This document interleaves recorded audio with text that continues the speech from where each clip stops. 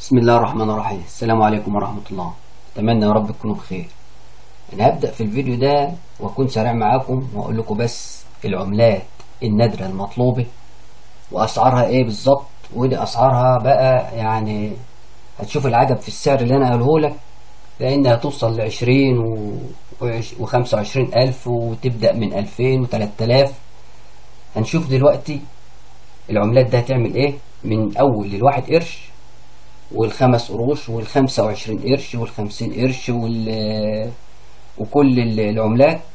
هنشوف نوادرها وهنشوف تعمل كام معاكم وهبدأ على طول. مش هقعد أقول أوزان بقى ولا أقول شيء لأن أنتوا بتتضايقوا من الكلام ده. ماشي؟ وتتباع في مصر لو معاك العملات دي. اولا العملة دي اللي هي عشرة مليم النسر ده اللي أنت شايفها دي شايف فيه نجوم في النص كده؟ لو أنت معاك العملة دي مفرغة السر ده مفرغ ومفيش فيه النجوم مفيش فيه النجوم دي خالص. ده بيبقى عيب صك وعيب خطأ ويعمل فلوس كتير. زي دي كده. شايف دي؟ ديت الصقر. بس الصقر دايما متفرغ ما فيش فيه نجوم زي ما انت شايف كده. لا ده النسر. النسر ده لو العملة معاك أي عملة من دول وما فيش فيها أو فيها نجمة واحدة وفي عملات بيبقى فيها ثلاث نجوم ده عيب خطأ. صح؟ وفي ما فيش فيها ولا نجمة خالص دي تعمل فلوس كتير وممكن تبدأ من 3000 جنيه و2000 جنيه وتوصل زي ما أنت عايز. وهنشوف العملات اللي معانا دلوقتي. من واحد قرش هتعمل كام؟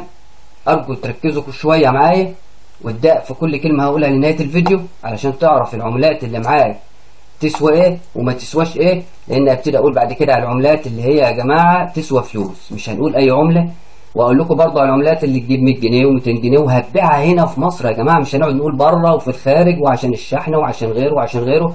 عارف عارف كويس الناس عاجزة في الموضوع ده ومش هتقدر تعمل الكلام ده ولا تقدر تسجل. فأقول لكم على المواقع والجروبات اللي أنتوا تعملوا عليها وتقيم عملاتكم وتتباعوا وتدخلوا بيها مزادات كمان في قلب الجروبات دي. ودي ناس ثقة وأرجو التعامل بهم معاهم باحترام تدخل تسجل بالإيميل بتاعك وتعرض عملتك وتقول له أنا عايز أدخل مزاد هيدخلك في مزاد وتتباع وهيقول لك على سعرها الحقيقي بدون أي مجاملات. تمام؟ هنبدأ الفيديو مع بعض ونشوف العملات اللي معانا اللي هي من أول واحد قرش والتواريخ بتاعتهم وتعمل كام بالظبط. فركزوا معايا ونبدأ على بركة الله. نبدأ بواحد قرش. واحد قرش 1991 ومتواجد منه تواريخ تانية كتيرة طبعا. وبالذات 1984 وتاريخ تانية كتير. الموجود يا جماعة المطلوب اللي هو 1991 ده نادر جدا. ده يعمل من إحنا بدأنا هنبدأ في الأسعار على طول زي ما قلنا. خدوا بالكم الصور وركزوا كويس في كل كلمة هتقال وخلي بالكم من آخر الفيديو لأن في عملات كتير ممكن تلاقيها معاك وأنت ما تعرفش. ده يبدأ ممكن من 2000 جنيه حتى يوصل 12000 جنيه. ويوصل ب 15000 جنيه يا جماعة بدون عيب صك نهائي ولو مقيم من الشركة يوصل أكتر من كده.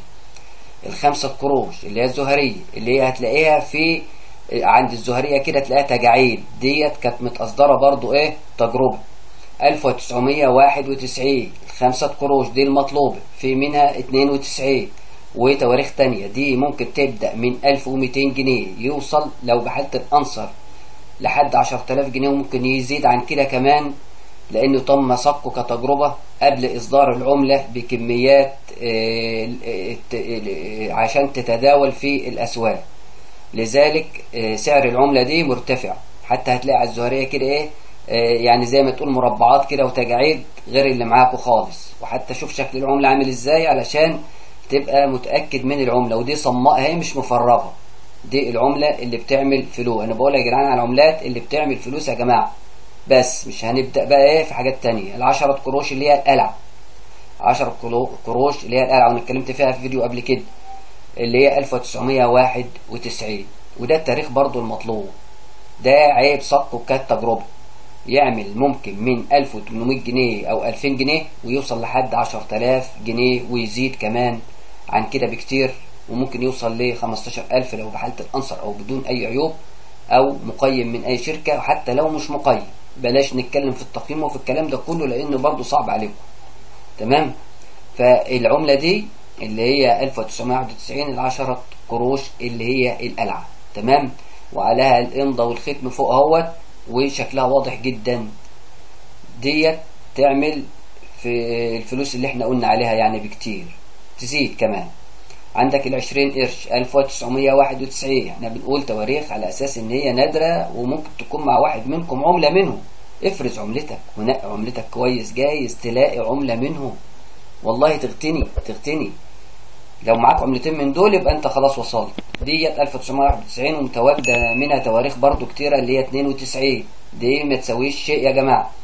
يعني عايزين التاريخ اللي هو 91 دي ممكن تبدأ من 1200 جنيه و1500 جنيه وممكن توصل لحد 10000 جنيه بدون أي عيوب من أي نوع في العملة.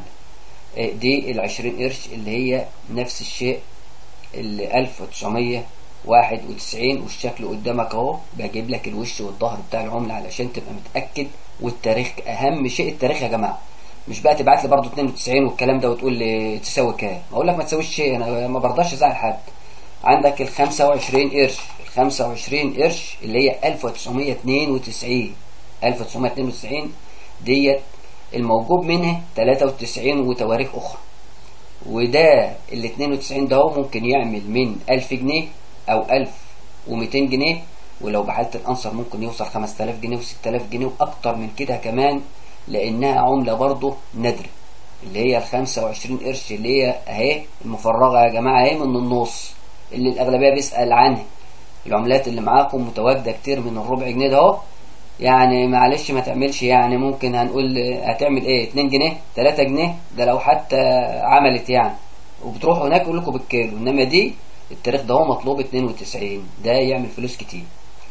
في عندك الخمس قروش اللي هي خمس قروش 1962 1962 دي من الألمنيوم والبرونز. ودي تعمل من 2000 جنيه وأنت طالع. حتى توصل لحد 10000 جنيه وتزيد حسب حالتها وحسب العرض والطلب والسوق والكلام ده طبعا. تمام؟ إحنا بنقول على اسعار يعني تداول هنا. مش هنقول على eBay مش هنقول على المواقع. معاك عملة من دول تعرضها على OLX أو أمازون أو dot com أو الكلام ده كله تجيب سعر وأنت قاعد مرتاح في بيتك ومن دون كلام وكمان الهواه بيطلبوا الحاجات ديت يا جماعة وعايزينها والله بشدة يجي ياخدها من قلب البيت. عندك النصف مليم نصف مليم السلطان حسين ويكون الشكل ده هو المطلوب يا جماعة. أهو ده النحاس الأحمر. ده النص مليم ده نادر. يكون الصورة دي بالظبط اللي مطلوبة. ده ممكن يعمل من 1200 جنيه وممكن يوصل ل 1500 جنيه وممكن يوصل بحالة الأنصر. وبلاش تقييم لأن لو مقيم بيبقى زيادة فعلا. ممكن يوصل ل 12000 جنيه و 10000 جنيه بس بلاش تقييم. ممكن يوصل مثلا ل 6000 جنيه 8000 جنيه اللي هو النص مليم اللي إحنا بنقول عليه ده. دي عملات اهيت لسه هجيب لكم عملات كتيرة اللي هي النوادر. النوادر والأخطاء في الصك والإصدار اللي ما تمش ورجعوا تاني عدلوا فيه هجيب لكم كل العملات اللي هي مطلوبة بفلوس كتير.